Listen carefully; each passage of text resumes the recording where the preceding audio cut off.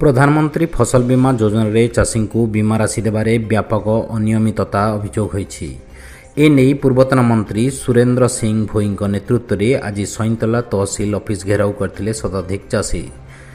ପ୍ରଖ୍ୟାତ କଣ୍ଠଶିଳ୍ପୀ ଏସ୍ପି ବାଲାସୁବ୍ରମଣ୍ୟମଙ୍କ ପରଲୋକ ହୋଇଯାଇଛି। ନିଶ୍ୱାସ ନେବାରେ କଷ୍ଟ ଅନୁଭବ କରିବା ପରେ ଚିକିତ୍ସାଧୀନ ଅବସ୍ଥାରେ ଆଜି ଶେଷ ନିଶ୍ୱାସ ତ୍ୟାଗ କରିଛନ୍ତି। ମୃତ୍ୟୁ ବେଳକୁ ତାଙ୍କୁ ଚଉସ୍ତରୀ ବର୍ଷ ବୟସ ହୋଇଥିଲା। ସେ ହିନ୍ଦୀ ସିନେମାରେ ଏକାଧିକ ହିଟ୍ ଗୀତ ଗାଇଛନ୍ତି। ତାଙ୍କ ଗୀତ ସଲମାନ ଖାନଙ୍କୁ ପରିଚୟ ପ୍ରଦାନ କରିଥିଲା।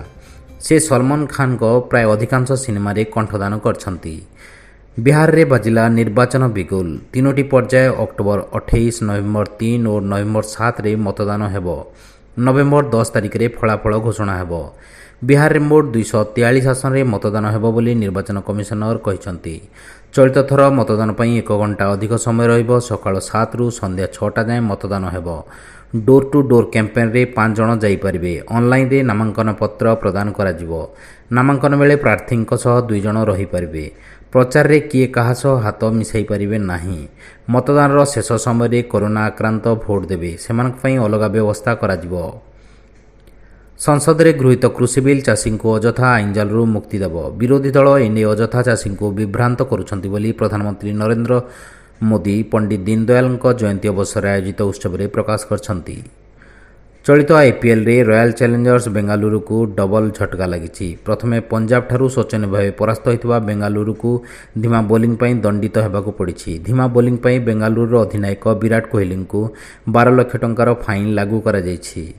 ରାଜଧାନୀରୁ ଜବତ ହୋଇଛି ଚୋରା ବନ୍ଧୁକ ଓ ଗୁଳି କାର୍ରେ ଡିଲ୍ ପାଇଁ ଆସିଥିବା ବେଳେ ଗତକାଲି ସନ୍ଧ୍ୟାରେ କଳ୍ପନା ଛକରୁ ତିନି ଅଭିଯୁକ୍ତଙ୍କୁ କ୍ରାଇମବ୍ରାଞ୍ଚ ଏସ୍ଟିଏଫ୍ ଗିରଫ କରିଛି। ସେମାନେ ହେଲେ କେନ୍ଦ୍ରାପଡ଼ା ରାଜେନ୍ଦ୍ର ସାହୁ ଏବଂ ଗୌରାଙ୍ଗ ଜେନା ଏବଂ ପୁରୀ ଜିଲ୍ଲା ନିମାପଡ଼ାର ଜ୍ୟୋତ୍ସ୍ନାରାଣୀ ଦାସ। ଅଭିଯୁକ୍ତଙ୍କ ନିକଟରୁ ଗୋଟିଏ ଦେଶୀ ନାଇନ୍ ଏମ୍ଏମ୍ ପିସ୍ତଲ ଚାରି ଗୁଳି ଏବଂ ଅନ୍ୟ ମାରଣାସ୍ତ୍ର ଏବଂ ଏକ ସ୍କର୍ପିଓ ଜବତ କରାଯାଇଛି। ରାଉରକେଲା ମାଲଗୋଦାମ ଗୋଷ୍ଠୀ ସଂଘର୍ଷ ଘଟଣାରେ ସାତ ଜଣ ଅଟକ ହୋଇଛନ୍ତି। ଗୁଳି ଚଳାଇଥିବା ଯୁବକ ଓ ବିପକ୍ଷ ଗୋଷ୍ଠୀର ଛଅ ଜଣଙ୍କୁ ଅଟକ ରଖାଯାଇଛି। ଘଟଣାସ୍ଥଳରେ ଉତ୍ତେଜନା ଥିବାରୁ ପାଞ୍ଚ ପ୍ଲାଟୁନ୍ ଫୋର୍ସ ମୁତୟନ କରାଯାଇଛି। କାଲି ଉଦିତ ନଗର ମାଲଗୋଦାମ ବସ୍ତିରେ ସଂଘର୍ଷରେ ଦୁଇ ଆହତ ହୋଇଥିଲେ। ନକ୍ସଲ ପ୍ରଭାବିତ ଜିଲ୍ଲାରେ କାର୍ଯ୍ୟରତ ପୁଲିସଙ୍କୁ ସମ୍ମାନିତ କରିବ ରାଜ୍ୟ ପୁଲିସ। ଦୁଇ ବର୍ଷ ଧରି ନକ୍ସଲ ପ୍ରଭାବିତ ଅଞ୍ଚଳରେ ନିଷ୍ଠାପର ଭାବେ କାର୍ଯ୍ୟ କରିଥିବା ସତରଶହ ନଅ ଜଣ ପୁଲିସ କର୍ମଚାରୀ ଓ ଅଧିକାରୀଙ୍କୁ ଆନ୍ତରିକ ସୁରକ୍ଷା ସେବା ପଦକ ପ୍ରଦାନ କରାଯିବ। କୃଷି ସମ୍ବନ୍ଧୀୟ ତିନୋଟି ବିଲ୍ ସର୍ବନିମ୍ନ ସହାୟତା ମୂଲ୍ୟ ଦାବି କରି ସାରା ଦେଶରେ କୃଷକ ସଂଗଠନ ଶୁକ୍ରବାର ଭାରତ ବନ୍ଦ କରିଛନ୍ତି। ଅଲ୍ ଇଣ୍ଡିଆ କୃଷକ ସଂଘ Bharatiya Kisan union all India Kisan Mahasangh ଏବଂ ଅଲ୍ ଇଣ୍ଡିଆ କିଷାନ ସଂଗଠନ ସମନ୍ୱୟ କମିଟି ଏହି ବନ୍ଦ ଡାକରାର ନେତୃତ୍ୱ ନେଉଛନ୍ତି। ଏହାକୁ କଂଗ୍ରେସ ସମେତ ଅନ୍ୟାନ୍ୟ ରାଜନୈତିକ ଦଳ ସମର୍ଥନ କରୁଛନ୍ତି। ଉପନିର୍ବାଚନ ପୂର୍ବରୁ ତିର୍ତ୍ତୋଲ ପାଇଁ ସରକାର କରିଛନ୍ତି ବଡ଼ ଘୋଷଣା।